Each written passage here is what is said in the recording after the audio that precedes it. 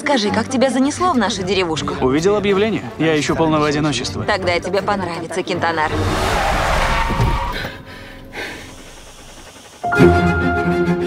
Как продвигается роман? Кентонар тебя вдохновил? У меня есть право на кризис. Для многих эта деревня-призрак словно не существует. Для многих Кентонар — призрак. Чего надо? У вас это нормальное обращение? Нормально для чужака представляться. Будьте осторожны. Люди здесь хорошие, но в то же время запуганные. Скорее, странные. Ты же приезжий.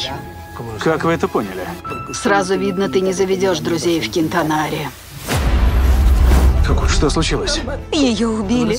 Это был волк. Здесь водятся волки? Раз ты их слышишь и видишь, значит, они существуют. Я буду опрашивать всех, кто знал девочку.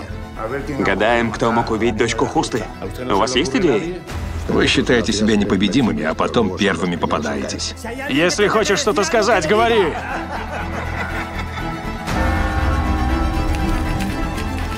Твоя книга о нашей деревне полное вранье. Думаю, тебе лучше уйти. Кто здесь? Уходите. Добро пожаловать в Кентонар. Ничто в этом лесу меня не напугает. Ничто.